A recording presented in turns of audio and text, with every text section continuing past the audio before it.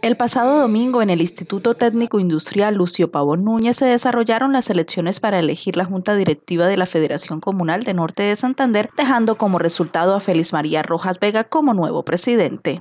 Es un reto interesante que vamos a, a comprometernos desde ya, que uno de mis sueños como comunal es la creación de la Federación del Catatumbo, en el encuentro electoral se presentaron dos planchas. La número uno obtuvo una votación de 192 y la plancha número dos 44 votos. Participaron las juntas de acción, las asociaciones de juntas de acción comunal como organismo de segundo grado, segundo nivel del departamento, 96 juntas actas para votar, participaron 70 eh, con 260 delegados.